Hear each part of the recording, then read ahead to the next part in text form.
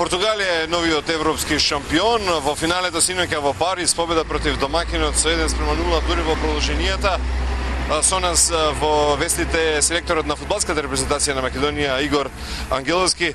Ангеловски, добар ден, добро дојдовте во вестите на Канал 5 по еден период на доминација на топ фаворит и Еве сега имаме едно европско првенство со шампион кој доаѓа од вториот ешелон, иако Португалија е квалитетна репрезентација и со искуство, но сепак имаме првак кој не е од она група фаворити.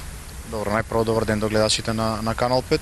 Да, се слагам со, со вас. Португалија е квалитетен, квалитетна репрезентација, но секако не е од типот на Германија, Шпанија, Италија, и Франција кои беа фаворизирани пред овој европски шампионат, но со игрите што што ги покажа во елиминационата фаза, мислам дека заслужено го освоја европското првенство, има и онаа доза на среќа за која и се изборија, но пак ќе кажам кога свеќе се собере, мислам дека они се шампиони и треба да им се честита на, на, на тоа.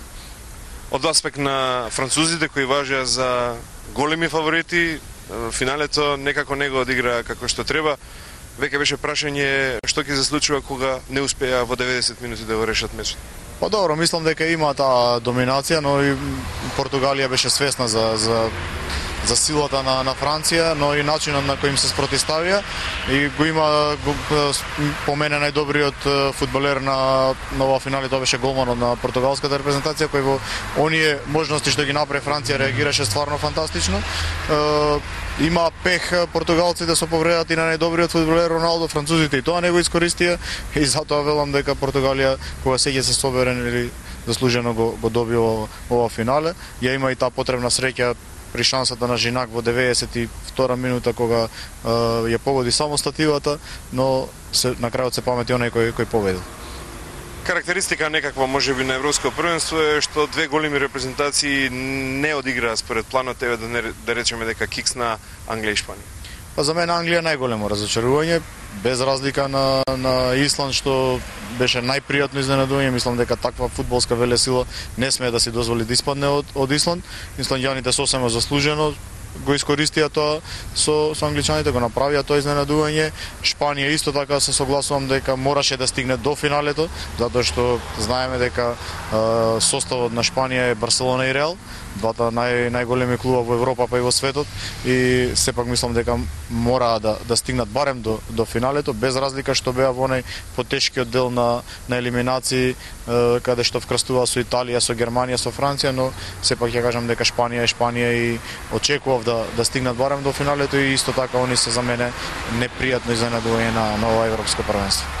Нашата репрезентација веќе од есен ја очекува квалификацијски циклус. Вие бевте во првата фаза на европско првенство, ги следевте надпреварите на нашите противници Шпанија, Италија и Албанија. Шпанците рековте потврлија, а Италија и Албанија се покажаа како како добри репрезентации. Па мислам дека Сите три се квалитетни репрезентации, Шпанија и Италија се фаворити во оваа група. Ова е се квалификација за светско првенство, каде што сам, само еден оди на, на светско првенство, додека најдобрите второ пласирани играат бараш. А, нашиот прв надпревар е со Албанија, ние сме максимално сконцентрирани на, на тој надпревар. Бев ги следе во живо, има одличен настап на, на европското првенство, беа трето пласирани, само поради послаба гол разлика не успеа да додат во елиминации, но беа достоен противник и со една Франција, ја победија Романија и со Швајцарија игра со играч помалце 70 минути, но на тој надпревар има 3 до 4 одлични можности за изедначување па и за победа. Сето тоа говори дека се квалитетна репрезентација, но како и секоја репрезентација имаат своји слабости кои ние се надевам дека ќе успееме да, да ги искористиме и да стартуваме без разлика што се игра во, во Скадар на нивни терен, да стартуваме низ квалификациите со еден позитивен резултат. Гилски, благодарам за овој разговор. Ви благодарам и на вас. Разговаравме со Игор Ангеловски, селекторот на фудбалската репрезентација и како што рековме на почетокот, Португалија синоќа го освои европскиот фудбалски шампионат со победа против домакинот Франција во Париз со 1-0 во продолжение.